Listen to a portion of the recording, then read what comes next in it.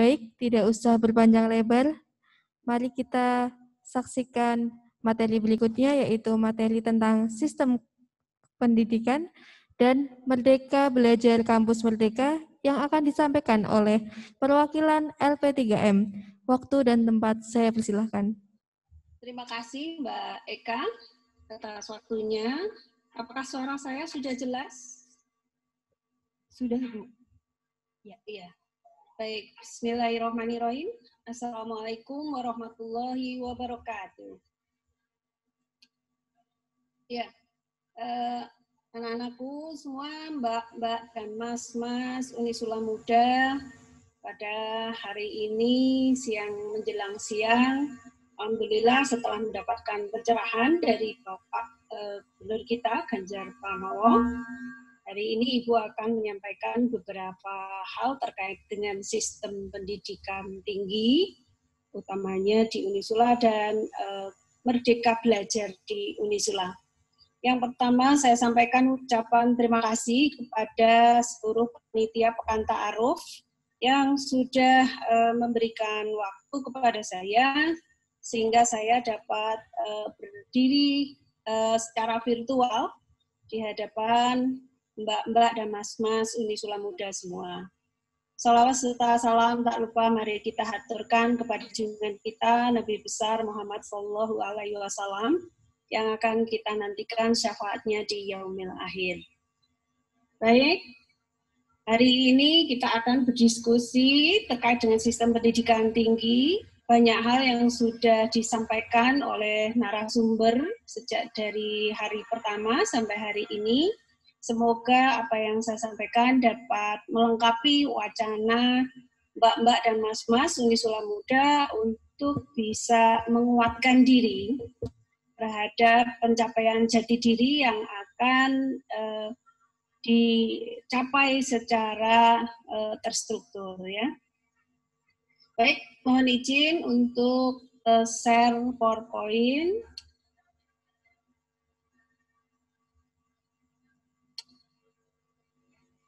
Apakah sudah kelihatan?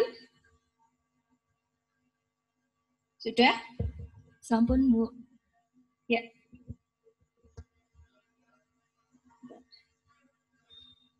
Baik. Nah, sebelum uh, masuk ke kupasan tentang sistem pendidikan tinggi, sekilas tentang sistem itu apa, pendidikan apa, dan pendidikan tinggi akan Ibu sampaikan.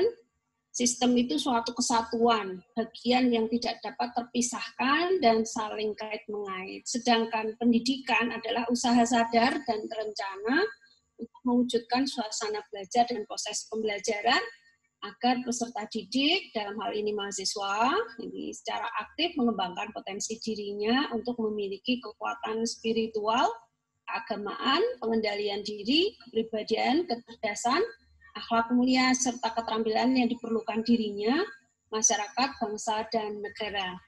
Kenapa ini harus usaha sadar? Karena kita setiap saat memang harus uh, berusaha untuk meningkatkan diri, potensi yang kita miliki untuk siap menghadapi masa depan. Apakah baik eh, bekal untuk diri sendiri, untuk masyarakat maupun kontribusi kita terhadap bangsa dan negara. Nah, kemudian pendidikan tinggi adalah jenjang pendidikan setelah pendidikan menengah. Nah, ada program diploma, program sarjana, pendidikan magister, doktor, program profesi, dan spesialis diselenggarakan oleh perguruan tinggi. Nah, perguruan tinggi ini yang menyelenggarakan pendidikan tinggi bentuknya nanti ada universitas, ada stikes, ada institut, dan seterusnya. Nah, tujuannya adalah berkembangnya potensi mahasiswa agar menjadi mahasiswa yang beriman, bertakwa kepada Tuhan Yang Maha Esa, dan berakhlak mulia.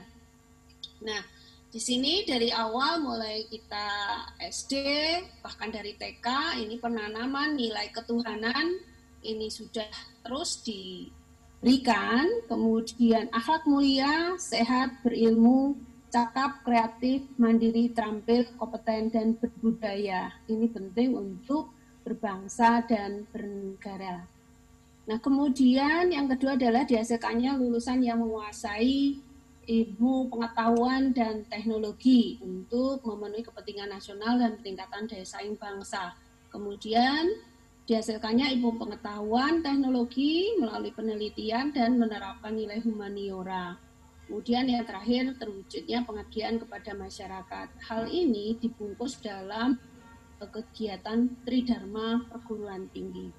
Sekilas tentang jenis dan program pendidikan, Mbak-mbak dan mas-mas uh, supaya tidak bingung di sini ada jenis dan ada program.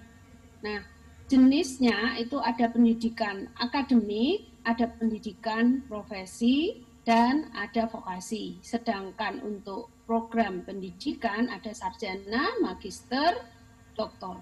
Sarjana ini ada sarjana terapan atau dulu namanya diploma 4. Kemudian magister ini juga ada magister terapan dan doktor juga ada doktor terapan. Nah, ini menurut aturan Undang-Undang Sistem Pendidikan Nasional kalau dulu kita mengenal istilah jalur formal, non formal dan informal, semua ini adalah bagian dari pendidikan baik kita belajar uh, di ruang-ruang pelatihan maupun di lembaga tidak formal itu juga uh, sebuah pendidikan. Jenjangnya mulai dari dasar, menengah, dan tinggi, dan jenisnya ini ada umum, ada kejuruan, ada akademik, profesi, keagamaan, dan uh, khusus. Ini misalnya yang berkebutuhan khusus. Kalau yang keagamaan ada uh, perbedaan di lingkungan uh, kementerian, ada di bawah Kementerian Keagamaan yang ini mbak-mbak dan mas-mas yang ada di Fakultas Agama Islam itu berada di bawah dua kementerian, yaitu Kementerian Keagamaan dan Kementerian Mendikbud. Tapi secara uh, tata pengelolaan di bawah Kementerian Agama. Nah, ini adalah uh, tadi jenis pendidikan ada akademik, ada profesi, dan vokasi. Nah, di sini saya tampilkan pada saat mbak-mbak ini mengambil program diploma 3, maka ini KKN-nya level 5. Ya, ada di sayap kanan. Dan kalau saat ini mengambil S1, misalnya S1 akuntansi, maka ini level KKNI 6. Kemudian kalau yang lanjut ke profesi dari S1 kebidanan, lanjut ke profesi ini naik level dari 6 ke 7. Nah ini kenapa ini berbeda? Karena tujuannya juga berbeda. Kalau jenis pendidikan akademik ini menerapkan eh, mendalami tentang keilmuan. Kalau yang vokasi ini adalah ilmu terapan, kalau profesi membutuhkan keahlian khusus. Nah, kenapa di sini butuh KKNI? KKN ini adalah suatu instrumen untuk menyetarakan pendidikan yang ada di Indonesia dengan pendidikan yang ada di luar negeri. Misalnya, bachelor di luar negeri itu setara dengan KKNI level berapa? Nah, itu maksudnya untuk KKNI. Nah, ini sesuai dengan level KKNI tadi, ini adalah beberapa uh, komponen kemampuan-kemampuan yang dimiliki, kemampuan adaptif, inventif, ini adalah akademik, kemudian kemampuan inovatif, ini pada pendidikan vokasi dan profesi, kemudian uh, ada uh, titik ini titik temu ya antara kemampuan adaptif dan inovatif, ini kemampuan aplikatif melalui sebuah keterampilan. Nah ini komposisinya. Ini saya kenalkan terkait dengan alur kredensial jenis dan jenjang pendidikan. Misalnya, ini kalau kita mau lurus-lurus saja dari S1, S1 e, manajemen, kemudian S2 manajemen, S3 manajemen. Bisa juga dari S1 kemudian melompat ke pendidikan e, apa namanya? magister terapan yang mana tadi masuknya vokasi ya ini bisa, tapi melalui sistem penyetaraan. Kemudian bisa juga dari D1, D2, D3 ini masuk ke program S1. Misalnya D3 kebidanan masuk ke S1 kebidanan. Ini bisa namanya e, lintas jalur Ya, kalau dari D3 masuk ke D4 nanti akan mendapatkan pengakuan yang namanya eh, alih jenjang dari jenjang D3 menjadi D4. Kemudian ada kekhususan di sini beberapa profesi khususnya kesehatan, ada yang sistemnya bundling. Bundling itu apa? Artinya dari S1 ke profesi itu merupakan satu kesatuan yang tidak dapat uh, putus atau interruptus putus di tengah jalan. Artinya saya kuliah S1 saja. Nanti untuk profesinya tidak uh, tidak perlu dilanjut. Nah, itu secara uh, apa namanya? hak dari hak mahasiswa boleh-boleh saja karena memang melanjutkan ke profesi atau tidak itu adalah suatu hak. Tetapi dari sistem pendidikan ini kalau misalkan S1 profesi bidan, kemudian S1 profesi apoteker, kemudian S1 eh, keperawatan danes itu satu kesatuan banding. Walaupun di eh, farmasi itu juga bisa berdiri sendiri.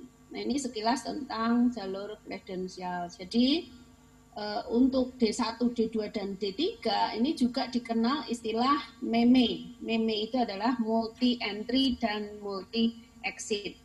Artinya, saya ingin kuliah di D3 manajemen misalnya. Tetapi ketika sudah dua tahun, saya ingin kerja dulu. Nah, ini diakomodir oleh MEME, multi entry, multi exit. Karena ini uh, ada yang ingin bekerja, ingin uh, apa membiayai kuliahnya sendiri dan seterusnya.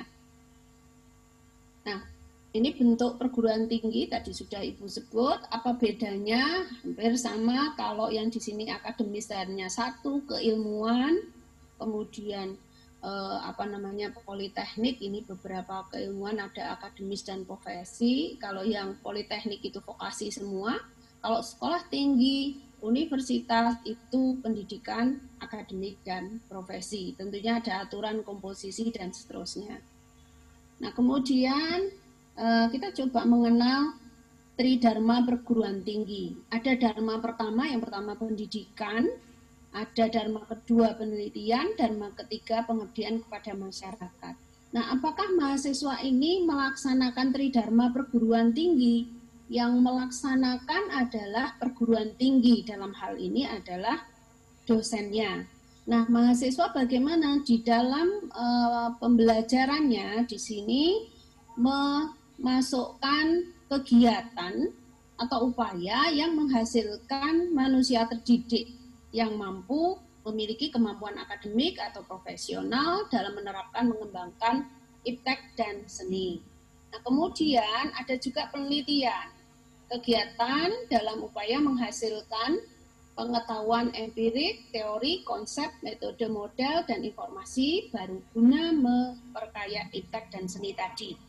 Nah ini dalam paket uh, kurikulum baik D3, S1, S2 dan uh, magister dan doktor ini ada uh, penelitian ya bentuknya mulai dari tugas akhir, skripsi, kemudian tesis, disertasi dan karya-karya ilmiah. Kemudian tridharma yang ketiga atau dharma yang ketiga adalah pengabdian kepada masyarakat.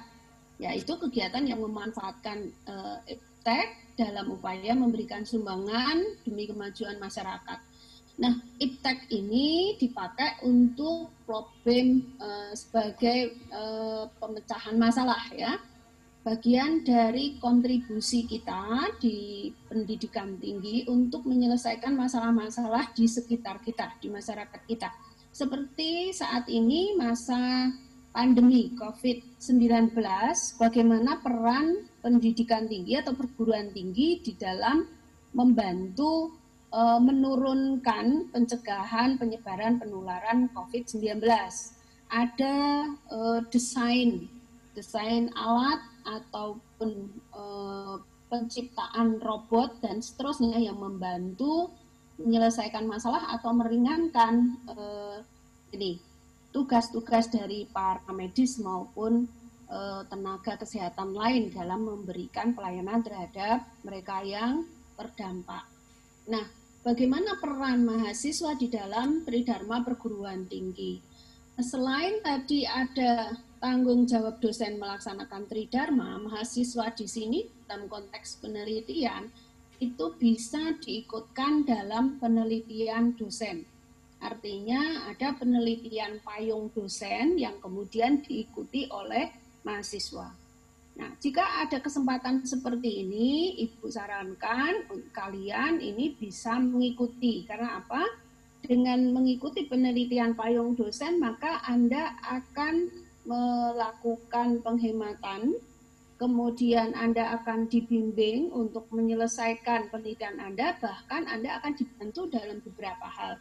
Sebagai contoh, kalau Anda sudah punya ketertarikan terhadap eh, COVID-19, penelitian nanti, penelitian yang Anda ambil itu terkait dengan COVID-19 dan di mana dosen ada yang meneliti tentang itu, maka silahkan menjadi mahasiswa yang e, menjadi penelitian bagian dari penelitian dosen ya. Nah, nanti Anda akan bisa mendapatkan fasilitas kemudahan diberikan sumber referensi, ada bimbingan, walaupun secara umum memang e, sama ya, tetapi kekhususan seperti mentoring untuk penelitian. Nah, demikian juga untuk pengabdian. Di dalam pengabdian ini bisa saja nanti mahasiswa akan menemukan sebuah model model pelayanan terhadap masyarakat yang solutif gitu ya kata Bu Tejo katanya solutif gitu ya nah solutif di sini adalah menggunakan ilmu pengetahuan dan teknologi biasanya hasil-hasil dari penelitian yang diimplementasikan di masyarakat. Nah ini peran mahasiswa juga bisa eh, pada saat mata kuliah KKN, kuliah kerja nyata nanti beberapa temuan-temuan hasil penelitian bisa diimplementasikan di masyarakat. Nah, sedikit menyinggung tentang sistem kredit karena bagaimana kita belajar pada saat uh, Unisula menyapa mahasiswa calon mahasiswa baru sudah ibu sampaikan tapi ibu ulang sedikit ini adalah sistem kredit yang digunakan di perguruan tinggi. Adalah suatu sistem penyelenggaraan pendidikan untuk menentukan mengatur beban studi, beban dosen dan institusi pendidikan dinyatakan dalam SKS. Nah, di sini beban studi mahasiswa nanti Bu jelaskan. Kalau D3, S1, Magis, doktor itu memiliki beban studi yang berbeda. Tujuannya memberikan kesempatan pada mahasiswa yang cakap dan giat dapat menyelesaikan program studi yang telah ditentukan dalam waktu yang sesingkat-singkatnya. Nah, berarti ini ada sebuah aspek keadilan di mana mahasiswa yang rajin, mahasiswa yang cap itu lulusnya tidak e, bisa lebih cepat dibandingkan yang lain. Oleh karena itu kita berlomba-lomba dalam kebaikan untuk e, menyelesaikan masa studi dengan sebaik-baiknya. Kemudian memberikan kesempatan kepada mahasiswa agar dalam batas-batas tertentu dapat menentukan mata kuliah yang sesuai dengan minat dan bakat.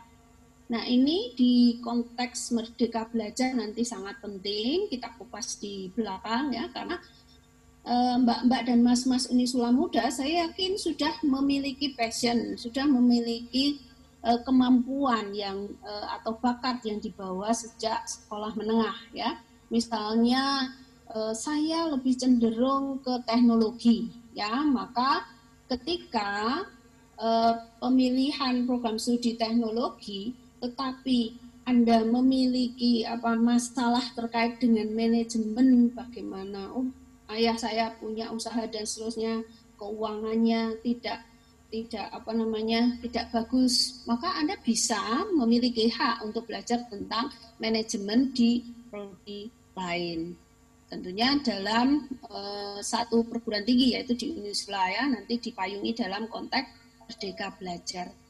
Nah, kemudian SK Mendikbud 3 2020 adalah takaran waktu kegiatan belajar yang dibebankan kepada mahasiswa per minggu per semester dalam proses belajar melalui bentuk pembelajaran dan besarnya atau besarnya pengakuan atas hasil uh, keberhasilan usaha mahasiswa dalam mengikuti kegiatan kurikuler di suatu prodi. Nah, ini dimaksudkan ada perbedaan istilah antara satuan kredit semester pada aturan Permen uh, Ristek Dikti 44 2015 pada konteks SKS ini. Definisi SKS kalau uh, saat ini adalah takaran waktu kegiatan. Kalau dulu adalah satuan pembelajaran. Hal ini itu untuk mewadahi beberapa aktivitas yang dijalankan oleh mahasiswa untuk mendapatkan pengakuan sebagai uh, capaian yang yang uh, apa namanya inline atau nyambung dengan capaian pembelajaran di program studi. Misalnya kalau ada mahasiswa yang melakukan pengabdian di masyarakat, kalau Pak Gubernur itu ada Joko uh, Tonggo dan seterusnya, kemudian ada apa namanya bakti sosial atau pengabdian lain. Misalnya eh, di daerah yang mengalami dampak pandemi ini tidak banyak murid yang tidak bisa meneruskan sekolah, kemudian Anda membantu mengajar di sana, ini akan mendapat pengakuan. Nah, ini lamanya selama 16 minggu termasuk ujian tengah semester dan akhir semester. Di dalam satu semester itu bisa terdiri dari dua atau tiga semester. Ya, kenapa tiga? Kalau semester dalam satu tahun ada dua semester memang normatifnya, ada semester gasal dan genap. Tapi dalam aturan ini ada semester antara. Nah, semester antara ini itu pergantian dari semester genap ke gasal. Ini setahun hanya satu kali dan paling sedikit 8 minggu pelaksanaannya. Untuk pengambilan SKS-nya itu dapat diambil 9 SKS sesuai beban belajar mahasiswa. Dengan adanya semester antara ini memungkinkan Mbak-mbak dan Mas-mas itu lulus lebih cepat Artinya, paket kurikulum yang ditawarkan program studi itu normatif, gasal genap, gasal genap. Nah, itu berlangsung kalau S1 bisa paketnya 8 semester. Tetapi ketika mbak-mbak mas-mas ini memiliki uh, indeks prestasi akademik tinggi itu bisa lebih ya, bisa mengambil mata kuliah tambahan ya SKS tambahan setiap semesternya dan dapat mengambil mata kuliah di semester antara. Tentunya semester antara ini bisa juga di Unisula itu bisa dipakai untuk percepatan artinya eh, mata kuliah yang harus diambil di semester depan sudah kita ambil sekarang ada juga untuk perbaikan remediasi dan eh, apa meningkatkan apa perbaikan nilai ya ini di Unisula. Nah, ini beban belajar saya kira sudah tahu semua. Artinya ketika kita e, membuat strategi pembelajaran di Unisula harus mengikuti batas-batas ini, khususnya batas maksimal lama studi. Dan sampai kemudian masa studi tujuh tahun kita enak-enakan, misalnya sudah sudah cuti, ya sudah cuti dua semester maksimal ya, kemudian masih cuti lagi cuti lagi, nah, nanti bisa terancam DO atau drop out ya kita maka kita perhatikan.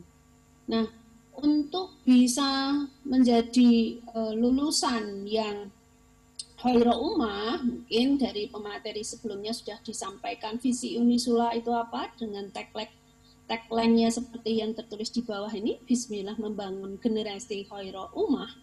Maka Unisula ini mendesain kurikulum di mana jenis kurikulumnya ada kurikulum inti keilmuan program studi, kemudian ada kurikulum penciri Unisula.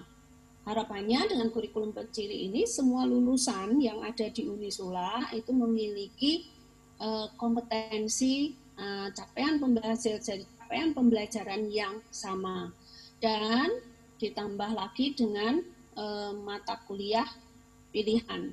Mata kuliah pilihan kalau dalam konteks merdeka belajar itu ada e, merdeka kegiatan dan merdeka e, pilihan ya. Seperti apa? Ini contoh komposisi kurikulum di Unisula ya. Jadi ada core kompetensi atau kurikulum inti ya bisa 60 sampai 80 83 SKS, kemudian ada MKWU, mata kuliah wajib umum. Ini sesuai dengan Undang-Undang 1212 bahwa semua uh, lulusan S1 khususnya ya ini harus mendapatkan mata kuliah pendidikan Pancasila, kewarganegaraan, bahasa Indonesia dan agama. Kemudian ada MKWK yaitu mata kuliah wajib khusus. Ini karena uh, khusus lulusan Unisula akan mendapatkan uh, mata kuliah ini ada fikih ibadah, Islam disiplin ilmu, peradaban Islam, kewirausahaan syariah, teknologi digital untuk akademik, bahasa Inggris, bahasa Arab, dan rekonstruksi ilmu.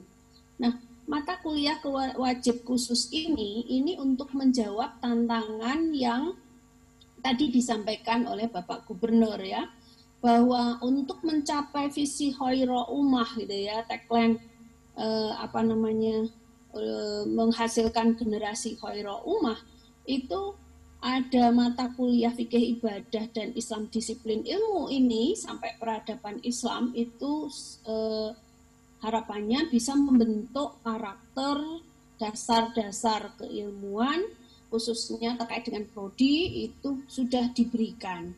Nah, Islam disiplin ilmu ini adalah perkawinan antara eh, keilmuan program studi yang sudah dianalisis, ditinjau dari nilai-nilai Islam atau Islamic view atau bagaimana cara pandang Islam terhadap keilmuan dari setiap program studi.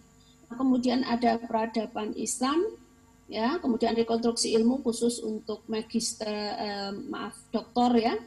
Kemudian ada kewirausahaan syariah, dan teknologi. Dua hal ini menjadi uh, hal yang utama sebagai bekal mahasiswa lulusan Unisula supaya ketika lulus nanti mampu sebagai entrepreneur bisa menghasilkan tidak tidak sebagai follower, tidak sebagai pekerja tetapi bisa mendesain uh, peluang kerja dan uh, teknologi teknologi di sini di era 4.0 dan di era uh, 5.0 uh, ya.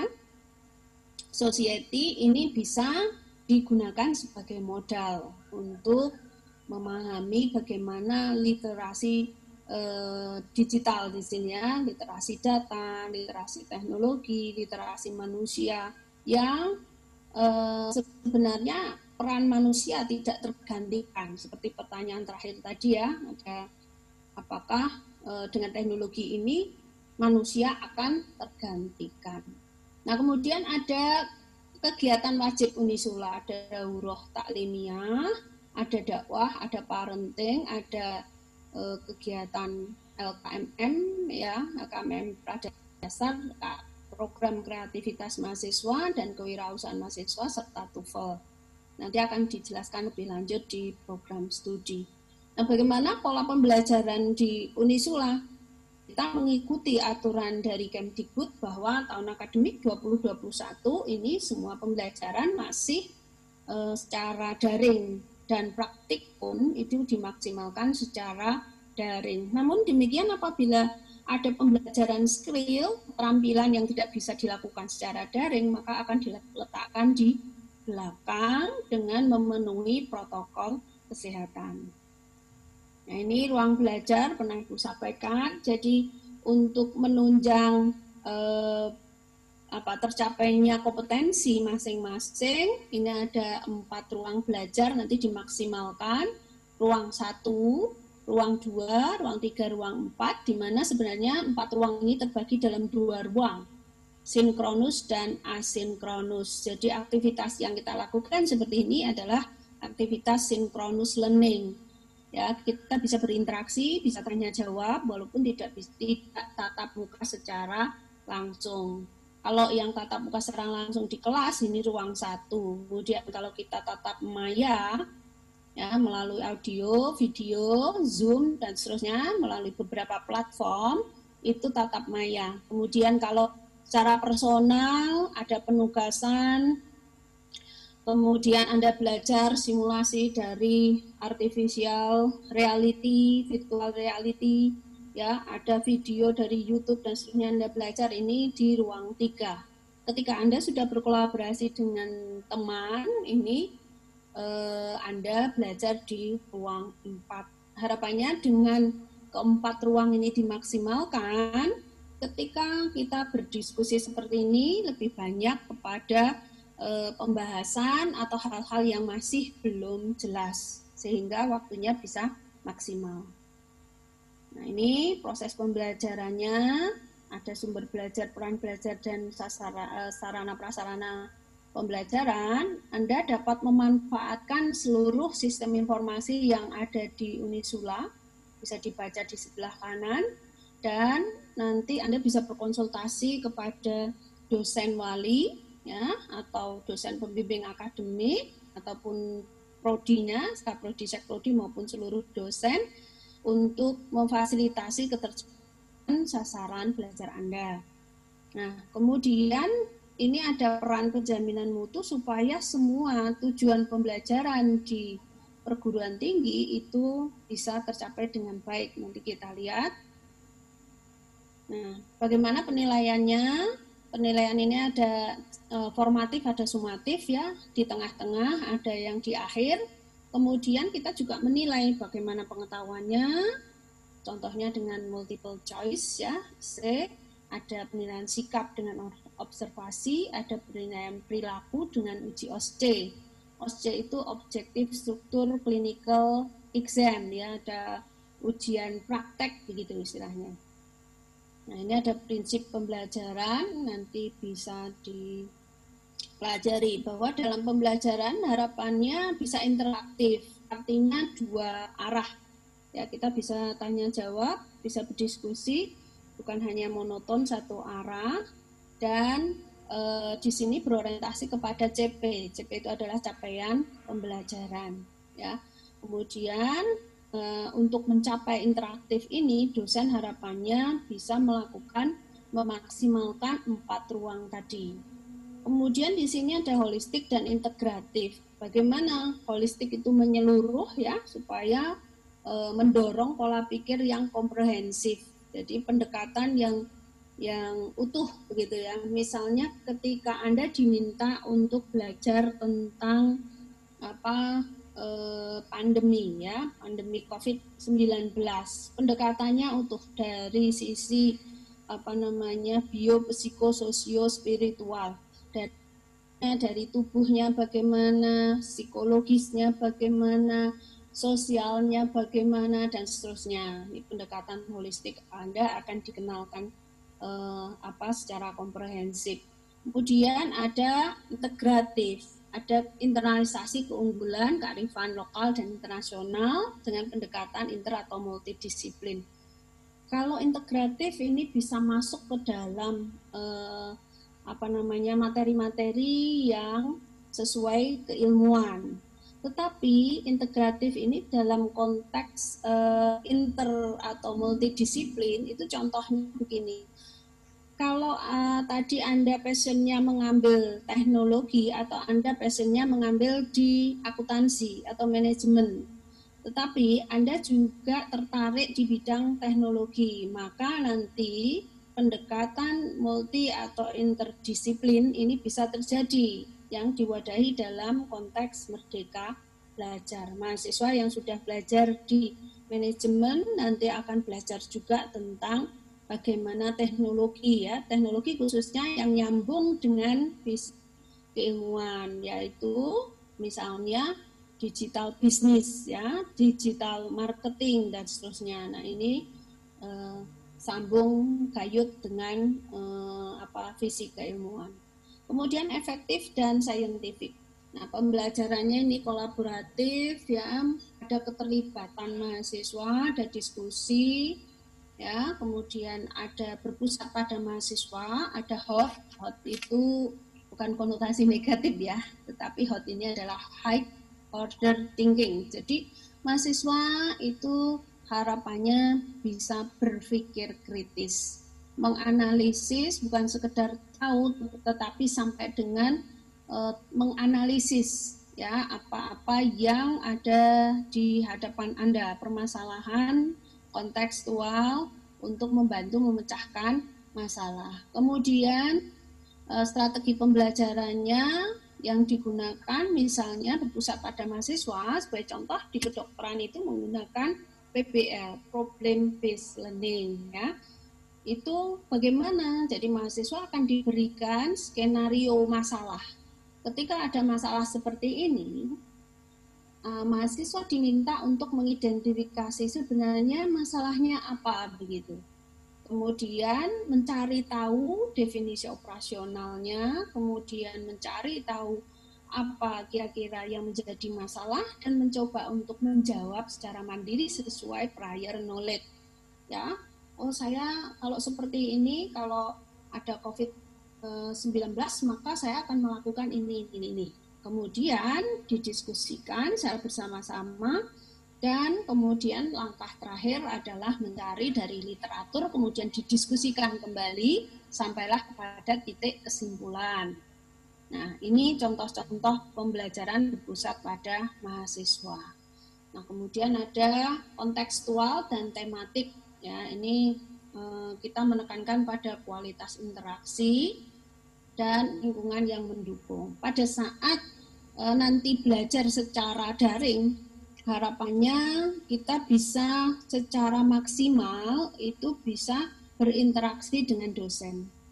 Bagaimana kualitas interaksinya? Ada ruang 3 dan 4.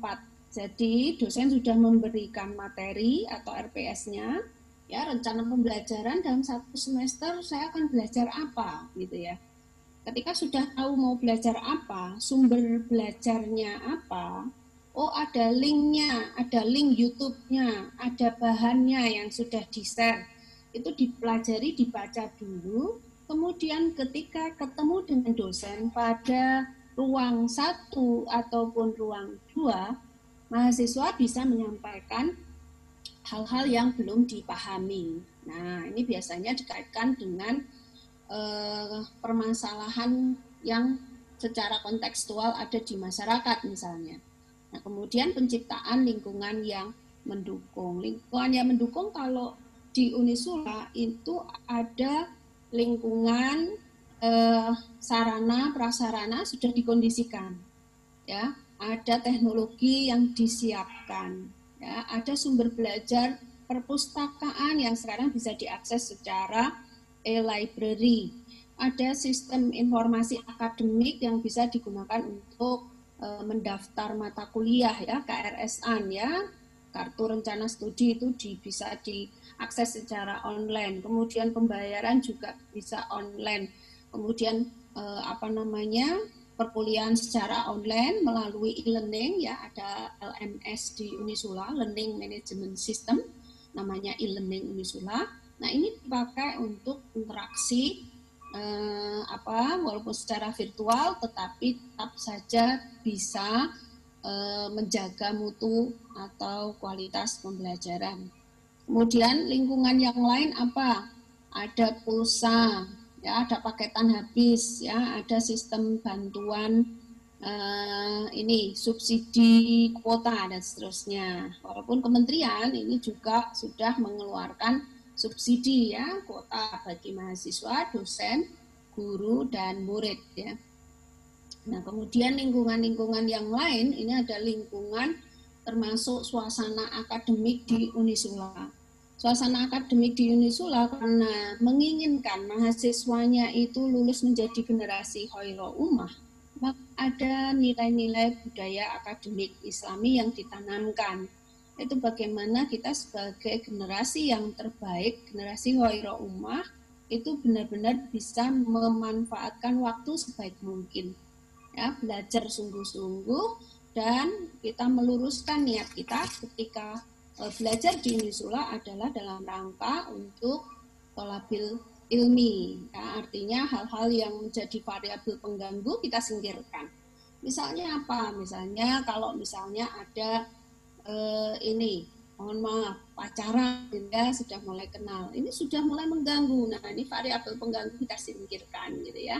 Nah supaya kita bisa fokus bisa lulus tepat waktu eh, apa namanya tujuan kita menjadi generasi rumah bukan hanya di dunia tetapi juga di akhirat nanti. Karena visi hidup kita seperti dalam surat Az-Zariyat 56 ya wala khalaqtul jinna wal insa illa liya'budun.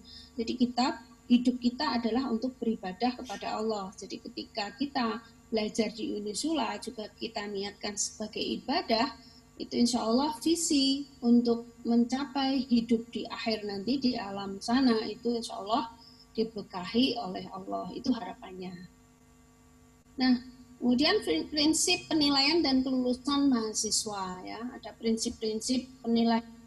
Yang mana prinsip penilaian ini nanti anda bisa e, merefleksikan apakah penilaian yang uh, dilakukan terhadap saya itu sudah memenuhi prinsip-prinsip penilaian gitu ya. Sehingga itu menjadi hak Anda untuk belajar di Unisula misalkan edukatif ya ketika penilaian itu edukatif penilaian itu tidak kemudian membuat mahasiswa patah semangat gitu ya. Artinya oh kamu bodoh kamu. Ya seperti itu tidak boleh karena itu apa namanya secara psikologis akan melemahkan atau menjatuhkan motivasi mahasiswa. Karena pada dasarnya semua orang itu memiliki potensi, memiliki keunggulan dan keunggulan atau potensi ini yang perlu kita pupuk ya karena manusia memang tidak ada yang sempurna tetapi dengan dengan adanya memupuk kemampuan dan eh, apa namanya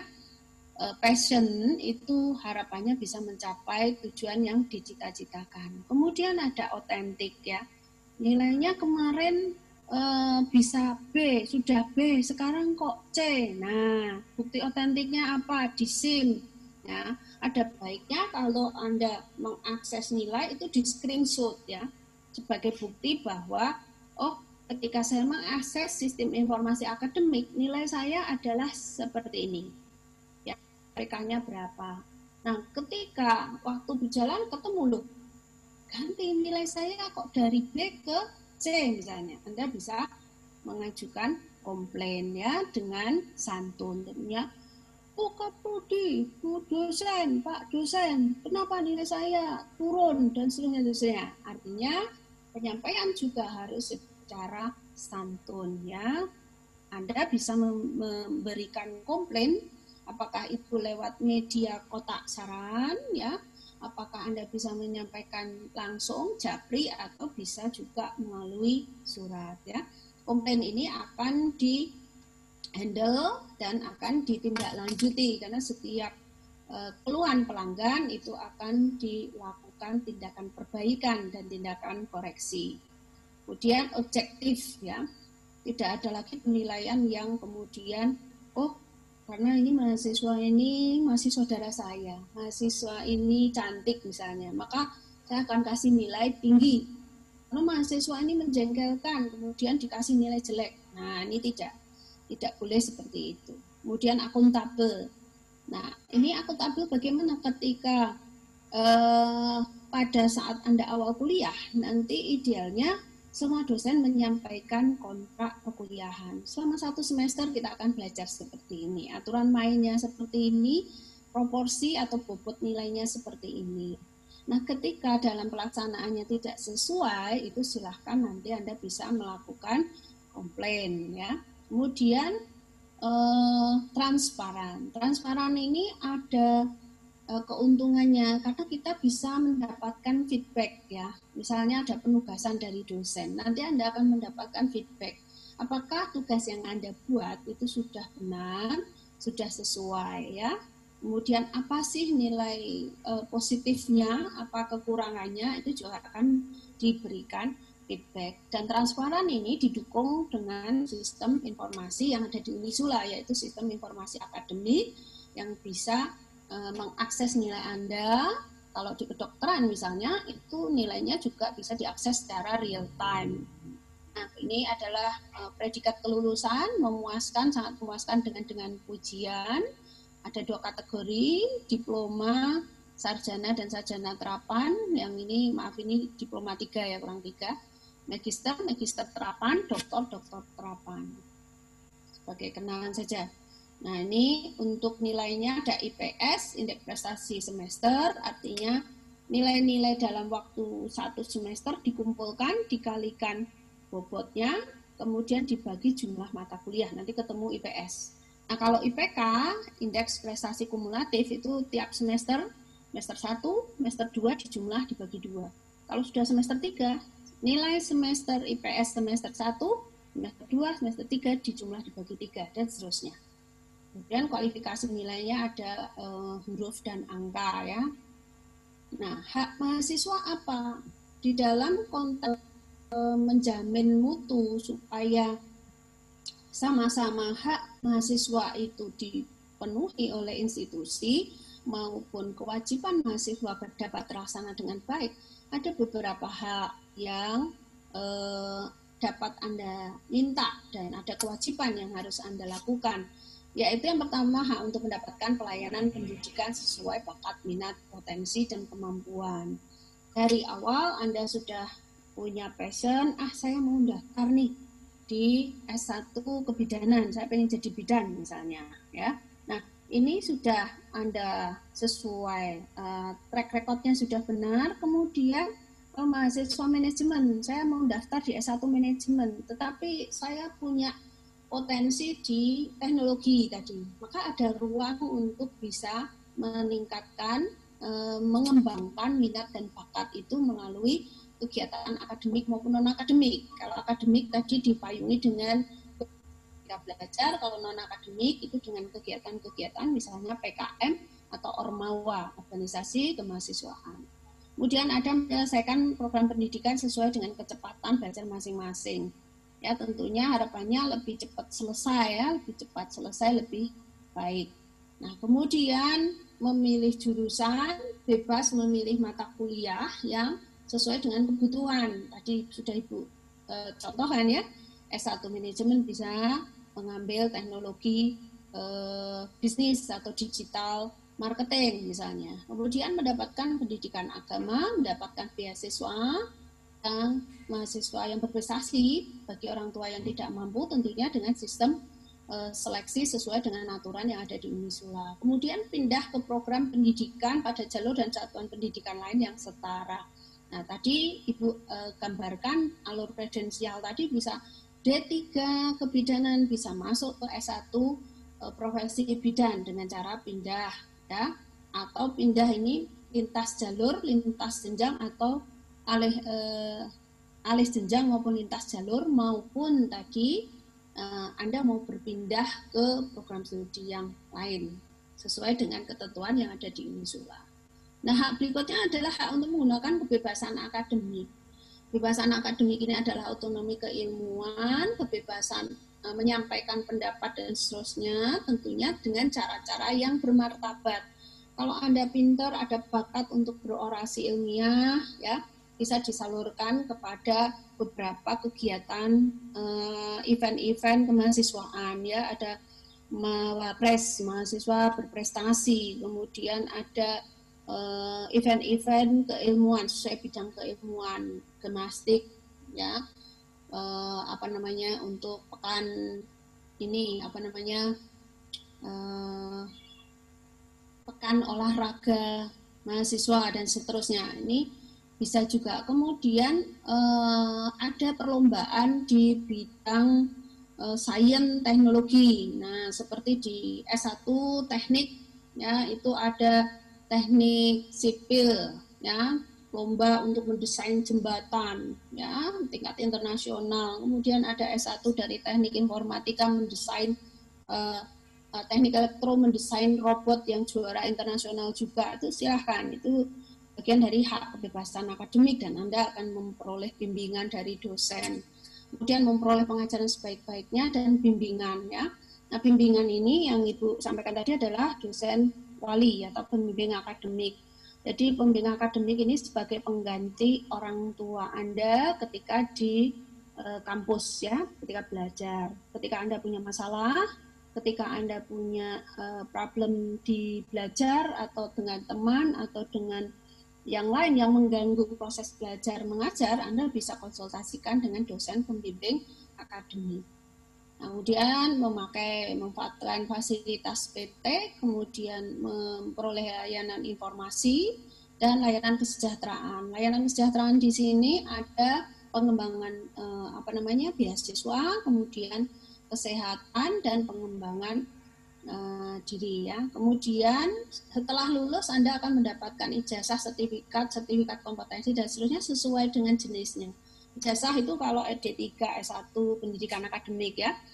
Kemudian kalau uh, pendidikan profesi itu akan mendapatkan sertifikat profesi. Kalau Anda mendapatkan pelatihan di luar program studi, ya kepelatihan kompetensi yang menunjang keilmuan tapi di luar program studi akan Anda akan mendapatkan sertifikat kompetensi Anda akan mendapatkan gelar dan SKPI surat keterangan pendamping ijazah oh bahwa lulusan ini ya si A ya Mas A itu bisa memiliki kompetensi di bidang eh, penanganan gawat darurat misalnya kalau yang di keperawatan misalnya. Nah ini tertulis dalam SKPI Nah, kewajibannya apa? Menjaga etika dan norma, kemudian mengembangkan minat bakat kemampuan diri supaya bisa lebih berkembang. Dan ini bisa memanfaatkan kegiatan kurikuler dan ekstrakurikuler apakah itu di bidang eh, seni, nalar, kemudian olahraga dan lain sebagainya.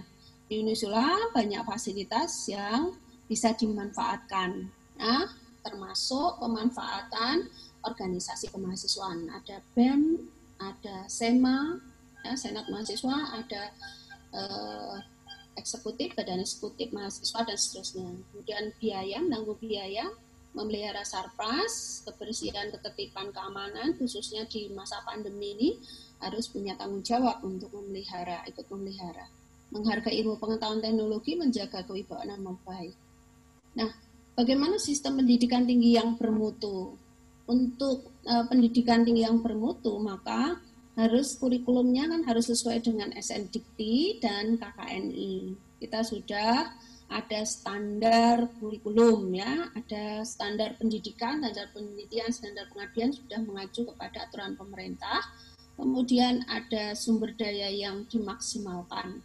Ya, ada man, money, material, method, machine ya, ada SDM-nya, dosennya, tendiknya dan seterusnya ada sistem pengelolaan keuangan, ada sarana prasarana, laboratnya, perpusnya, dan seterusnya. Kemudian bagaimana memanagenya dan ada leadership yang bagus. Nah, dikemas dalam sebuah akademik atmosfer yang di kita namanya budaya akademik Islami. Harapannya mahasiswa yang masuk uh, Unisula Muda masuk kemudian Eh, dengan proses pembelajaran yang bermutu, berkualitas ini akan menghasilkan lulusan uh, generasi khairah umah sesuai apa yang diembankan di tujuan dikti. Ya. Nah, ini bagaimana mutu pendidikan tinggi itu dikawal. Jadi ada standar nasional pendidikan tinggi di Unisula menerapkan namanya SPMI, Sistem Penjaminan Mutu Internal. Bagaimana menjaga standar yang ditetapkan itu sudah sesuai atau sudah dilampaui. Nah, ketika sudah dilampaui dengan budaya mutunya, jadi pola pikir, pola sikap, pola perilaku sudah tertata dengan baik untuk menjaga mutu, maka eh, output laporannya akan selalu dilaporkan di PD Dikti. Ya, data aktivitas mahasiswa, satu semester itu mahasiswanya ada berapa, mengikuti mata kuliah apa dan seterusnya, terlaporkan semua dan ada SPME, sistem penjaminan mutu eksternal dalam hal ini ada audit eksternal dari BAN PT, Badan Akreditasi Nasional, perguruan tinggi maupun LAM PT, lembaga akreditasi mandiri untuk kesehatan, LAM PT KES ya. Nah, kemudian lingkupnya apa sih? Bagaimana menjaga mutunya dengan siklus P, eh, SPMI? Ibu tadi menyebut PPE, PPE. PPE, PPE yang pertama adalah penetapan standar dikti. Kita sudah menetapkan dalam buku atau dokumen SPMI. Ya, kemudian kita melaksanakan, kita melakukan evaluasi, mengendalikan dan meningkatkan standar. Untuk apa konteksnya? Akademik dan non-akademik. Akademik itu tridharma perguruan tinggi, pendidikan, penelitian, pengabdian, dan non-akademik. Bagaimana kegiatan mahasiswa, bagaimana pengelolaan sarpras, bagaimana eh, manajemen keuangan, bagaimana eh, SDI-nya, sumber daya insaninya, dan seterusnya. Kemudian ada dilakukan audit ada audit mutu internal ya. Ini dilakukan setahun sekali. Bagaimana kesesuaian terhadap standar ya. Ini diaudit. Ketika ada temuan akan dilakukan tindak lanjut untuk perbaikan. Ini standar mutunya. Tadi Ibu menyebut ada standar pendidikan dan pengabdian. Masing-masing ada delapan standar isi, standar proses, standar eh, SDM, Sarpras, standar hasil dan seterusnya dan ada standar non akademik visi misi tata bangun dan seterusnya yang mengawal bagaimana mutu pembelajaran di Unisula ini bisa berkualitas. Nah, ini prosesnya bagaimana? Ada standar yang ditetapkan, dilaksanakan, kemudian evaluasinya, Anda bisa turut berperan serta di sini. Di mana mahasiswa bisa ikut berperan? Yaitu di adanya di survei kepuasan pelanggan. Jadi nanti mahasiswa diminta untuk mengisi uh, survei, ya, survei kepuasan pelanggan. Apakah terhadap pembelajaran namanya EDOM ya, evaluasi dosen oleh mahasiswa. Dosen ini ketika mengajar waktunya sesuai tidak, materinya sesuai apa tidak, bagaimana kemampuan mengajarnya, penggunaan teknologinya, kemudian penanaman nilai-nilai Islamnya masuk atau tidak dan seterusnya.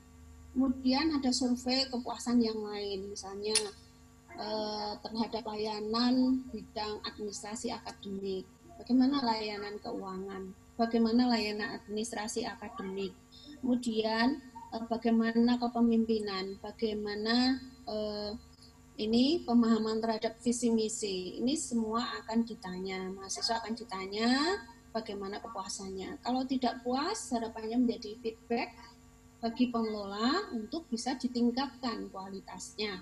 Sehingga dari waktu ke waktu akan ada continuous quality improvement. Jadi ada peningkatan mutu secara berkelanjutan.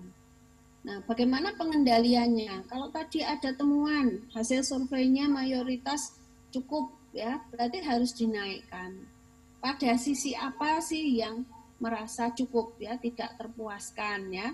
Oh pada aspek kuota misalnya. Layanan e, fasilitas internet misalnya. Berarti tindak lanjutnya ada tindakan koreksi dan tindakan perbaikan ya. Tindakan koreksi itu sebagai contoh begini. Kalau gelas ditaruh di pinggir di pinggir meja suatu saat bisa kesenggol jatuh pecah nah tapi kalau tindakan perbaikan itu dengan cara meletakkan gelas di tengah, bukan di pinggir lagi karena kalau kesenggol bisa eh, apa?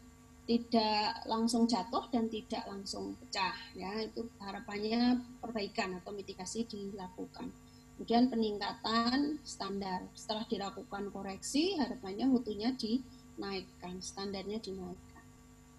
Nah bagaimana penyesuaian eh, pendidikan tinggi di Unisula terhadap tuntutan stakeholder. Stakeholder di sini ada dua ya, ada internal, ada eksternal. Kalau internal itu termasuk mahasiswa itu adalah stakeholder juga, dosen juga stakeholder ya.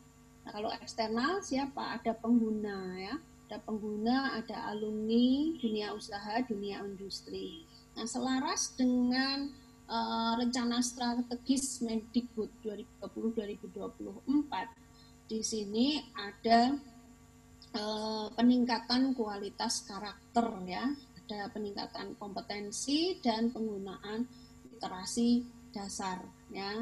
Di sini karakter apa yang ditingkatkan kualitasnya, bagaimana menghadapi lingkungan yang terus berubah. Maka di sini tetap harus fondasi keimanan, ketakwaan itu harus selalu ditanamkan. Kemudian cinta tanah air ya seperti halnya kegiatan pekan taruh hari ini ada materi tentang cinta tanah air. Kemudian keinginan tahu ya rasa ingin tahu yang tinggi itu juga terus ditingkatkan supaya tidak pasif ya tidak nerimo saja. Kalau orang Jawa udahlah orah gitu ya. Kalau orang Jawa bilang orang Kendal bilang. Kemudian ada inisiatif ya. Ada uh, gigih ya. Ada desain uh, inclusion interaksi antara mahasiswa prodi satu dengan prodi yang lainnya ada kemampuan komunikasi dan kreativitas. Kemudian literasi untuk menjawab tantangan 4.0 nah ini ada apa namanya pengembangan karakter, nasionalisme, integritas dan seterusnya. Ada literasi, kemampuan untuk menggunakan keterampilan eh, berbagai keterampilan dalam kehidupan dan uh, soft skill yang dipakai untuk menghadapi abad 21. Komunikasi, kreativitas, kolaborasi dan berpikir kritis. Nah, bagaimana Merdeka Belajar di Unisula? Ini sudah pernah Ibu sampaikan. Anda memiliki hak untuk mengambil mata kuliah di luar prodi. Ya, ada empat dua semester atau setara 40 SKS dan ada 20 SKS atau setara satu semester di e, luar PT. Ya, ini e, desain Merdeka Belajar. Dan ketika Anda belajar itu yang diakui adalah jam e, apa namanya? jam kegiatan bukan jam belajar ya nanti anda akan mendapat dosen pembimbing nah ini nanti bisa dibaca untuk merdeka belajar intinya ada tiga semester yang anda bebas memilih ya memilih pilihan tetapi harus sesuai dengan capaian pembelajaran lulusan. Nah, bagaimana komposisinya? Ini core kompetensi 4 sampai 5 semester, kemudian ada merdeka pilihan 20 eh, SKS ya ini bisa diambil di prodi yang berbeda di Unisula bisa juga merdeka kegiatan setara dua semester atau 40 SKS untuk memperkaya core kompetensi. Nah, ini komposisinya seperti ini ada pilihan satu, ada pilihan dua, ini ada dua desain. Ini yang lulus desainnya 7 semester saja S1, ini lulus 8 semester. Ya, detailnya nanti prodi akan jelaskan. Ini syaratnya, ketentuannya, mahasiswa harus selesai kurikulum inti dulu baru bisa mengambil merdeka belajar, ya, baik merdeka pilihan maupun merdeka kegiatan. Nah, ini kemudian nanti e, syarat untuk merdeka e, kegiatan ini ada dosen pengampunya, nilainya nanti ada yang melakukan analisis untuk diakui untuk pengakuannya ya. Nah, kemudian ini bentuk-bentuknya saya kira bisa dibaca. Ada magang, proyek di desa, mengajar, pertukaran belajar, dan kesempatan bagi mahasiswa di program studi dengan akreditasi A itu pertukaran belajar pelajar dengan uh, institusi di luar negeri sangat terbuka Eh, kalau yang Unisula masih yang belum A itu bisa antar perguruan tinggi dengan akreditasi perguruan tinggi yang sama, sama-sama PTA atau dan program studi akreditasinya juga sama. Ini hmm. ada wirausaha dan seterusnya.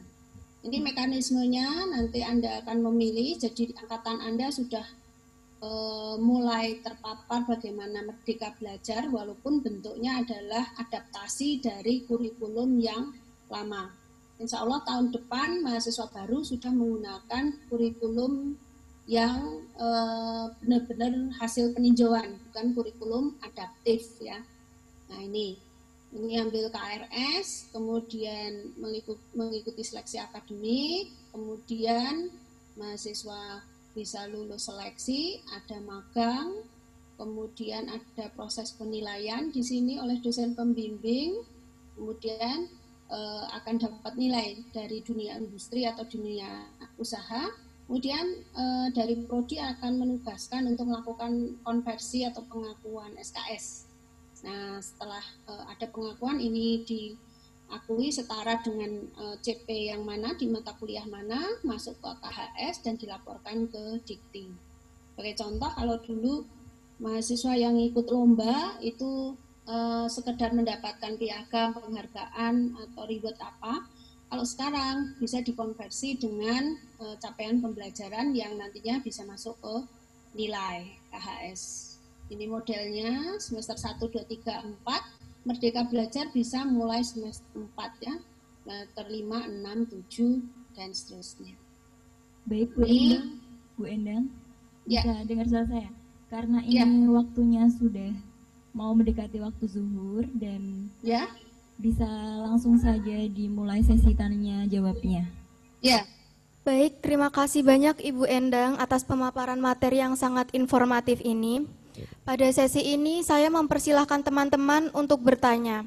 Kami memberi kesempatan untuk dua pertanyaan. Bila teman-teman ada yang ingin bertanya, bisa di-unmute. Mau bertanya? Assalamualaikum warahmatullahi wabarakatuh. Bisa didengar suaranya, Bu? Bisa. Itu satunya saat itu harus A. Tapi kalau sudah dibuka kemudian ini Apakah bisa didengar?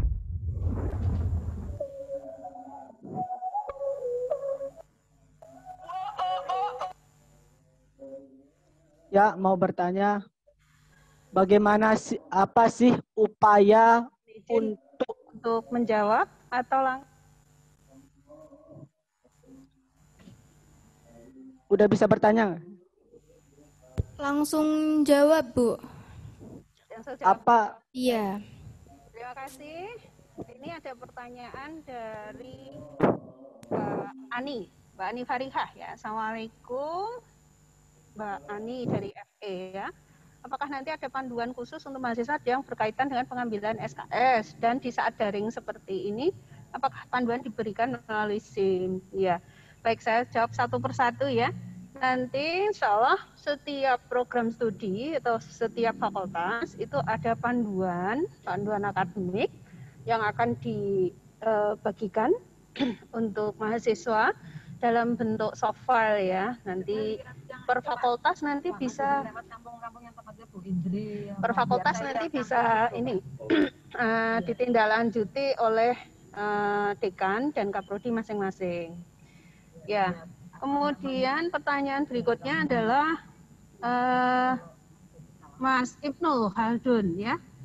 Oh tapi ini dari Mbak Laila, Mbak Laila Rahmania oh, dari psikologi ya. Berapa biaya semester antara yang harus dibayarkan? Berapa minimum mahasiswa yang mengambil semester antara untuk diadakan semester antara? Untuk pembayaran semester antara, memang ini tergantung dari program studi fakultas masing-masing ya. Dan ada yang minimal 10 mahasiswa baru dilaksanakan. Itu juga tergantung dari kebijakan fakultas. Karena untuk level universitas aturannya adalah normatif yang mengakomodir semua fakultas. Kemudian terkait dengan eh, pertanyaan satu dua. Sudah? Itu? Dua itu? Monggo mbak. Baik terima kasih banyak ibu. Karena waktu sudah habis jadi saya tutup Bisa bertanya lagi satu hari ini satu pertanyaan aja kak bisa gimana ibu baik ini terima... ada satu pertanyaan ini dari iya Nusina upaya atau cara bagaimana untuk bisa cepat menyelesaikan kuliah itu bu bagaimana? Apakah ada ya. metodenya? Pertanyaan gitu? Yang bagus, pertanyaan yang bagus, Mas Ibnu Sina. Jadi kalau ingin kuliah cepat selesai, itu ikuti panduan yang ada di fakultas maupun studi dan fokus, ya, fokus. Misalnya begini, ketika ada uh, ketertarikan atau passion Mas Ibnu ini di apa? Ya, misalnya ngambilnya fakultas apa ini Mas? Prodi apa? Fakultas Teknik. Sina. Prodi Fakultas Planologi. Oh, planologi, ya. Kalau Mas Ibnu Sina sudah ada passion ya, ketertarikan untuk tata kota, tata kota dikaitkan dengan uh, bagaimana sih mengelola sumber air bersih atau apa, maka tekuni itu, fokus itu, sehingga nanti ketika ada penugasan-penugasan, temanya tidak jauh-jauh dari itu. Nah, kemudian tema-tema itu dibuat uh, artikel, dibuat apa namanya uh, pengabdian KKN, dibuat skripsi, tema skripsi, sehingga sudah tahu dalam gitu. Apa pun pertanyaan atau uh, arah yang diberikan oleh pembimbing itu bisa langsung nyantol gitu. Itu. Kemudian lakukan target ya, buat target semester 1, 2, 3 itu IPK-nya minimal berapa. Dengan begitu akan termotivasi. Dan satu lagi, dan Ibu lakukan ya waktu itu, ketika Anda masuk di uh, semester 1, tuliskan Anda mau cita-cita itu IPK lulus berapa dan setelah lulus mau jadi apa. Tulis di selembar kertas, ditutup di dalam uh, masukkan dalam amplop, ditutup rapat dan buka di ketika Anda tuliskan empat tahun yang akan datang saya akan menjadi S1 cum laude atau lulusan terbaik. Ditutup, bukalah nanti empat tahun. Karena itu di alam bawah sadar Anda akan uh, memotivasi Anda untuk terus uh, meraih cita-cita yang Anda tuliskan tadi. Oke, mungkin itu dari jawaban dari Ibu. Uh, semoga uh, memuaskan. Amin. Terima kasih banyak Ibu karena waktunya sudah habis jadi saya tutup waktu sesi tanya jawab ya. Baik, terima ya, kasih Bu terima Endang atas kebersamaannya sangat bermanfaat untuk kita semua. Semoga Bu Endang dan keluarga selalu diberi kesehatan dan perlindungan oleh Allah Subhanahu wa taala. Amin ya robbal alamin. Baik. Amin ya robbal alamin. Ya, terima kasih semuanya. Selamat dan sukses ya. Assalamualaikum warahmatullahi wabarakatuh. Waalaikumsalam warahmatullahi wabarakatuh. Baik, saya selaku moderator, mohon maaf bila ada salah kata. Saya akhiri. Wassalamualaikum warahmatullahi wabarakatuh. Waalaikumsalam warahmatullahi wabarakatuh. Acara saya kembalikan kepada MC.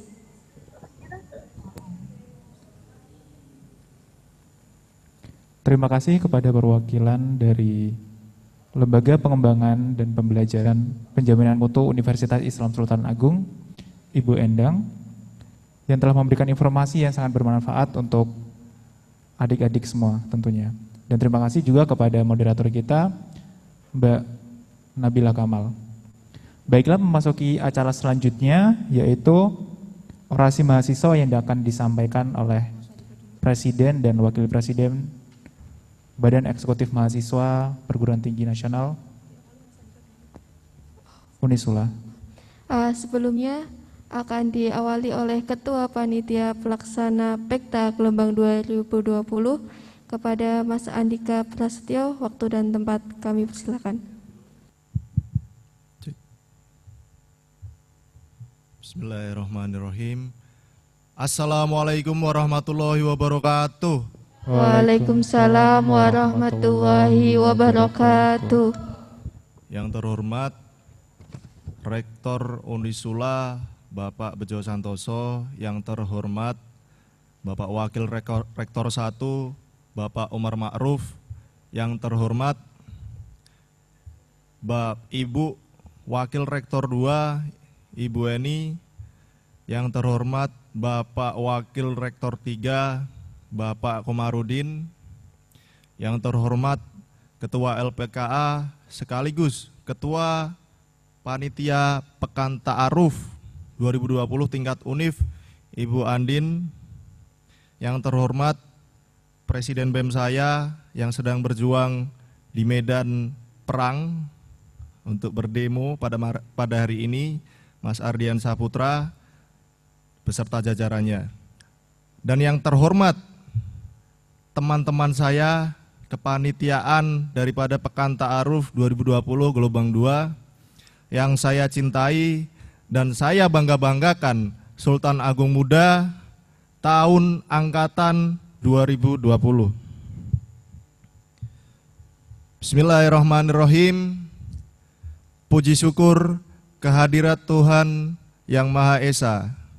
Allah Subhanahu wa taala yang telah dan masih memberikan kita semua rahmat dan hidayahnya sehingga pada hari ini kita masih diberikan sehat, kita masih diberikan nikmat iman, kita masih diberikan akal sehat, kita masih diberikan nurani yang sehat untuk sekedar sedikit banyak terus mengikuti rangkaian Pekan Ta'aruf 2020. Salawat serta salam tidak lupa kita haturkan kepada Nabi kita, baginda Nabi Muhammad Shallallahu Alaihi Wasallam yang dengan beliau juga kita diantarkan ke zaman yang terang benderang.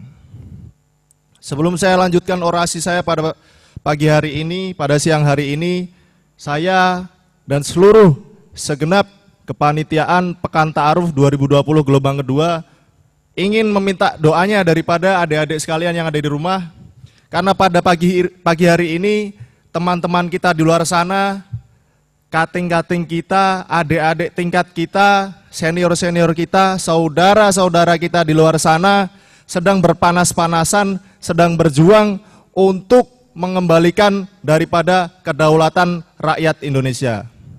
Yaitu apa teman-temanku semuanya? Mereka sedang memperjuangkan untuk menolak adanya Omnibus Law. Maka dari itu saya minta daripada kepanitiaan saya, daripada teman-temanku semuanya, daripada adik-adik maba sekalian yang ada di rumah untuk menundukkan kepala sejenak, sejenak untuk menghayati dan berdoa untuk teman-teman kita di luar sana, untuk saudara-saudara kita di luar sana. Al-Fatihah.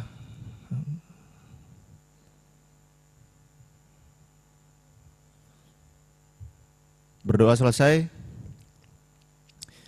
Semoga mereka diberikan kelancaran, semoga mereka diberikan keselamatan dalam menyelamatkan Indonesia daripada terkaman para oligarki atau para elitis daripada kaum di atas republik ini. Selanjutnya, sebelum saya melanjutkan orasi, saya ingin menerangkan daripada permasalahan tentang di Indonesia kawan-kawanku semuanya. Karena pada kesempatan yang mulia ini, hari ini saya sangat terhormat bisa berbicara sedikit banyak kembali kepada teman-temanku semuanya, kepada keluarga saya baru yang ada di rumah, yaitu adik-adik sekalian, mahasiswa baru tahun angkatan 2020, Sultan Agung Muda, keluarga besar Universitas Islam Sultan Agung. Hari ini teman-temanku semuanya, demokrasi, baik itu dalam bidang hukum politik, kemudian ada ekonomi yang carut marut, investasi yang tidak karu-karuan, hari ini sudah selayaknya, sudah sewajarnya bagi kita semua untuk menitik beratkan atau untuk mentitik fokuskan daripada permasalahan-permasalahan yang ada di Indonesia. Kenapa teman-temanku semuanya? Kenapa kita harus fokus? Kenapa kita harus memalingkan sejenak kepala kita kepada permasalahan-permasalahan yang ada di Indonesia? Karena sebagai kaum mahasiswa sudah menjadi tanggung jawab kita bersama, sudah menjadi tanggung jawab kita bersama sebagai kaum intelektual, sebagai kaum yang memang dipercayai oleh rakyat Indonesia, sebagai kaum yang memang diyakinkan rakyat Indonesia karena mereka atau kita semua sebagai kaum mahasiswa mampu untuk menyelaraskan, mampu untuk menghubungkan daripada aspirasi rakyat Indonesia. Di pundak kita ini teman-temanku semuanya, di pundak kita ini adik-adikku semuanya, kita mempunyai tanggung jawab yang besar. Kita mempunyai tanggung jawab yang memang luar biasa. Tanggung jawab kita kepada rakyat Indonesia, ibu kandung kita, ibu kandung kita, ibu pertiwi kita, tanah air kita, sehingga pada hari ini kita membuktikan atau mungkin adik-adik sekalian yang ada di rumah mungkin masih proses proses untuk kemudian nanti di kemudian hari bisa membuktikan kepada dunia dan Indonesia untuk sedikit banyak hanya sekedar untuk menyelamatkan daripada yang pertama ada kebebasan berpendapat, kemudian yang kedua ada kebebasan untuk mendapatkan hak-hak minimal kemanusiaan daripada yang tertuang di aturan-aturan di HAM Indonesia. Kemudian yang kedua, mendapatkan pendidikan yang layak. Kemudian yang tiga, mendapatkan kesejahteraan umum. Karena kalau kita berbicara tentang tugas presiden, konstitusi mengamanahkan presiden hanya dua tugas, teman-teman. Yang pertama adalah mencerdaskan kehidupan bangsa, yang kedua adalah memelihara dan memperdayakan rakyat miskin. Tapi kita bisa melihat kawan-kawanku semuanya, bahwa pada hari ini, sampai hari ini, demokrasi telah mati. Demokrasi telah mati. Maka kita sudah sewajarnya, sudah selayaknya mengucapkan bersama-sama kawan-kawanku semuanya. Innalillahi wa inna ilaihi rojiun. Innalillahi wa inna wa inna ilaihi rojiun. Telah mati demokrasi di Indonesia. Telah berpulang ke rahmatullah daripada akal nurani, akal sehat para dewan perwakilan rakyat. Karena kita sedang carut marut, politik, kita tidak karuan, bangsa saling serang satu sama lain Karena sekarang kita dicarut marutkan, kita diadu domba. Seakan-akan hari ini semua di sekitar kita bukanlah saudara kita kembali, kawan-kawanku semuanya. Seharusnya orang-orang seperti kita tidak pantas mati di tempat tidur. Karena kaum mahasiswa mempunyai tanggung jawab yang besar. Mereka bisa mengedukasi masyarakat, mereka bisa menyebarkan gelora daripada pemimpin-pemimpin kita terdahulu untuk sekedar menyelamatkan Indonesia mereka atau kita semua kaum mahasiswa bisa menyampaikan daripada amanat-amanat founding father kita, Bung Karno, kepada Indonesia yang lebih baik. Saya teringat dengan kata-kata Bung Karno, kawan-kawanku semuanya, adik-adik sekalian yang ada di rumah. Kita bangsa besar, kita bukan bangsa tempe, kita tidak akan mengemis, kita tidak akan minta-minta, Apalagi jika bantuan-bantuan itu diembel-embeli dengan syarat ini, syarat itu, lebih baik makan gaplek tapi merdeka kawan-kawan daripada makan bestik, daripada makan bestik tapi kita jadi budak. Dan pada hari ini kita bisa jujur-jujuran teman-teman. Kepemerintahan kita sedang carut marut. Seakan-akan Indonesia bukan milik kita lagi. Seakan-akan Indonesia milik asing, milik asing. Hari ini rakyat marah. Karena kenapa? Dewan Perwakilan Rakyat kita sudah tidak lagi memihak kita. Dewan Perwakilan Rakyat kita sudah tidak lagi menjadi bagian daripada saudara-saudara kita. Kalau kata Wiji Tukul teman-temanku, beliau adalah aktivis daripada HAM di Indonesia. Beliau adalah aktivis daripada hal-hal yang baik di Indonesia. Beliau pernah berkata, bila rakyat berani mengeluh, itu artinya sudah gawat. Dan bila omongan penguasa tidak boleh dibantah, kebenaran pasti akan terancam. Apabila usul ditolak tanpa ditimbang, suara dibungkam, kritik dilarang tanpa alasan. Dan bila omongan penguasa tidak boleh dibantah, kebenaran pasti akan terancam.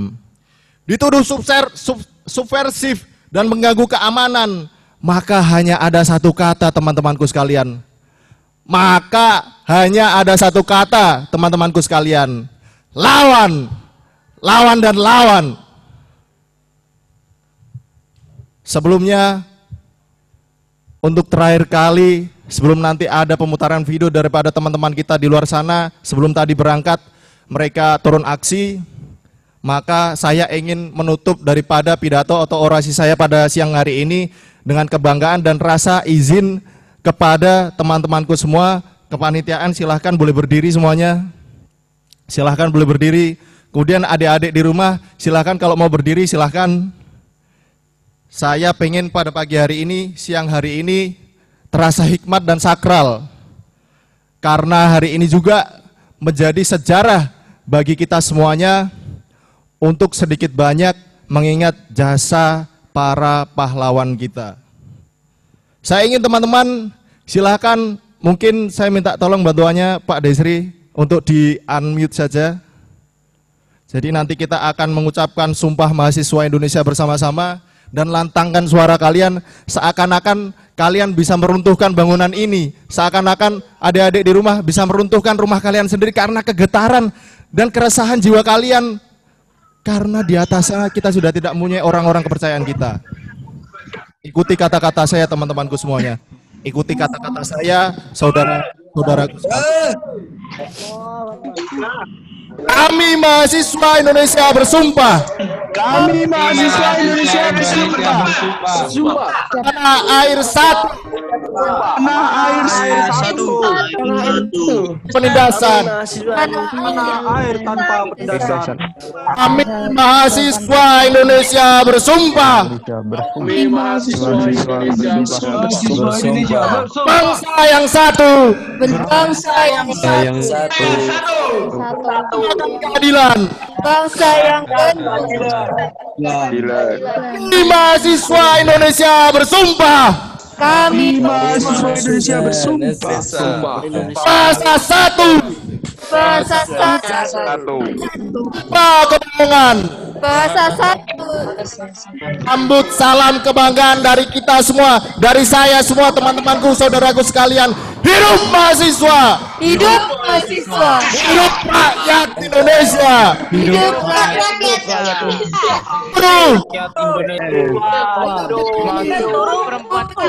Hidup perempuan perempuan Indonesia! Hidup perempuan perempuan Indonesia! Wassalamualaikum warahmatullahi wabarakatuh. Waalaikumsalam warahmatullahi wabarakatuh. Ber, ber. Pitches DPR. Waalaikumsalam Tiada kusangka sejak Sementara kita ketahui bersama, undang-undang tersebut masih menjadi polemik di tengah masyarakat. Hal ini semakin menguatkan keyakinan sipil terkait pemerintah itu sendiri. Disahkannya undang-undang Omnibus Law Cipta Lapangan Kerja, seperti yang sudah kita ketahui bersama, melalui aksi sebelumnya, masih banyak menjadi penolakan karena dinilai undang-undang tersebut tidak pro terhadap rakyat, serta dalam perancangannya ada prosedur dan tidak sesuai bagaimana ketentuan perundang-undangan yang berlaku. Dengan disahkannya undang-undang Omnibus Law di masa COVID-19 dan, dan pemerintah tidak fokus terhadap pencegahan penularan COVID-19, menandakan bahwa tidak dimilikinya empati kepada rakyat dan patut juga diduga sikap mata pemerintah melalui DPR dalam proses pengesahan undang-undang Omnibus Law Cipta Lapangan Kerja ini untuk memperjuangkan kepentingan kelompok tertentu yang tidak pro terhadap rakyat Indonesia. Maka dengan ini, kami keluarga mahasiswa Unisula menyatakan, satu, menolak undang-undang Omnibus Law Cipta Lapangan Kerja yang telah disahkan oleh Dewan Perwakilan Rakyat pada hari Senin tanggal 5 Oktober 2020. Dua, mengutuk dengan keras penyalahgunaan wewenang yang dilakukan oleh pemerintah dan DPR dalam proses pengesahan undang-undang Omnibus Law Cipta Lapangan Kerja. Tiga, menyatakan dengan tegas mosi tidak percaya kepada pemerintah dan Dewan Perwakilan Rakyat. Demikian pernyataan sikap keluarga mahasiswa Unisula dengan tegas bahwasanya dengan ini kami menuntut pemerintah dan pemerintah tidak fokus terhadap pencegahan penularan COVID-19 menandakan bahwa tidak dimilikinya empati kepada rakyat dan patut juga diduga sikap mata pemerintah melalui DPR dalam proses pengesahan undang-undang Omnibus Law Cipta Lapangan Kerja untuk memperjuangkan kepentingan kelompok tertentu yang tidak pro terhadap rakyat Indonesia. Maka dengan ini, kami keluarga mahasiswa Unisula menyatakan, satu, menolak undang-undang Omnibus Law Cipta Lapangan Kerja yang telah disahkan oleh Dewan Perwakilan Rakyat pada hari Senin tanggal 5 Oktober 2020. Dua, mengutuk dengan keras penyalahgunaan wewenang yang dilakukan oleh pemerintah dalam proses pengesahan undang-undang Omnibus Law Cipta Lapangan Kerja. Tiga, menyatakan dengan tegas mosi tidak percaya kepada pemerintah dan Dewan Perwakilan Rakyat. Demikian pernyataan sikap keluarga mahasiswa Unisula dengan tegas bahwasanya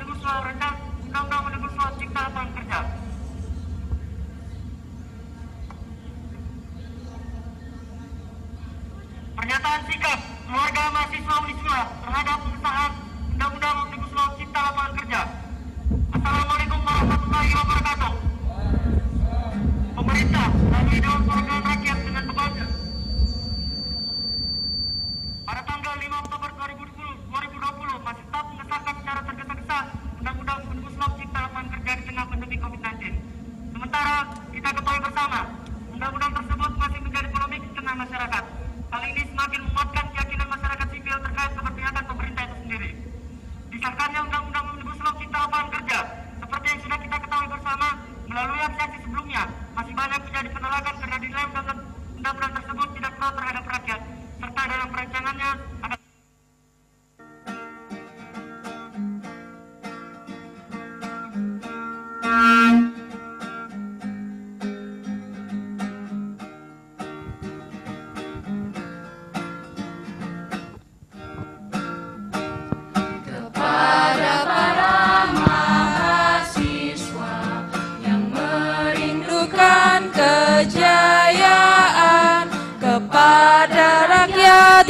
kebingungan di persimpangan jalan, kepada pewaris peradaban yang telah menggoreskan sebuah catatan kebanggaan di lembar sejarah manusia.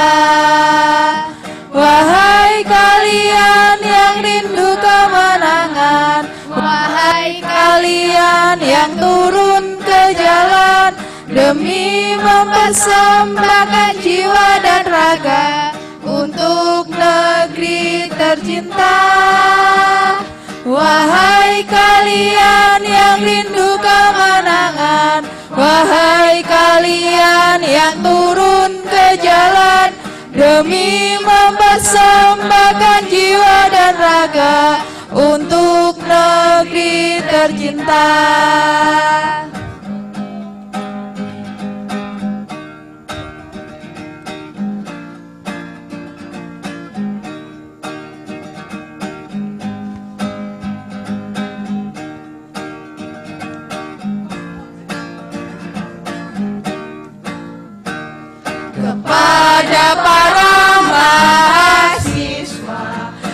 merindukan kejayaan kepada rakyat yang kebingungan di persimpangan jalan. Kepada pewaris peradaban yang telah menggoreskan sebuah catatan kebanggaan di lembar sejarah manusia. Wahai kalian yang rindu kemenangan, wahai kalian yang turun ke jalan demi mempersembahkan jiwa dan raga untuk negeri tercinta. Wahai kalian yang rindu kalian yang turun ke jalan Demi mempersembahkan jiwa dan raga Untuk negeri tercinta. Untuk negeri tercinta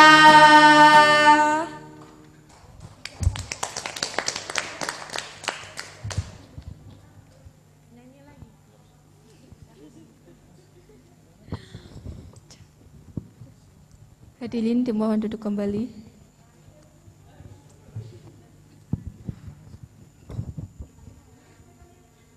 Terima kasih kepada Mas Andika, Mas Adrian yang telah menyampaikan orasi pada siang kali ini. Baiklah, sebelum kita mengakhiri rangkaian acara pada siang hari ini, kita akan mengumumkan Sultan Agung Muda yang mendapatkan hadiah pada kesempatan atau pada hari ketiga ini. Dan yang mendapat hadiah adalah teman kita dari Ibnu Sina dari Fakultas Planologi yang menggunakan baju biru mungkin bisa di unmute terlebih dahulu. Oke, bis- bisa diperkenalkan terlebih dahulu. Hai teman-teman, selamat siang. Assalamualaikum warahmatullahi wabarakatuh. Waalaikumsalam warahmatullahi wabarakatuh. Oke, nama saya MG Far Mubarok dari Nusa Tenggara Barat, Fakultas Teknik Prodi Planologi. Dan saya dari kelompok Ibu Nusina. kelompok nomor berapa, Mas? 60. 60 nggih. Nggih. Oke, terima Oke, kasih. Terima kasih. Kami ucapkan selamat untuk kasih. Kak. Masnya. Kami dan untuk yang mendapatkan hadiah nanti akan dihubungi oleh pihak panitia. Seperti itu. Terima kasih. Sama-sama.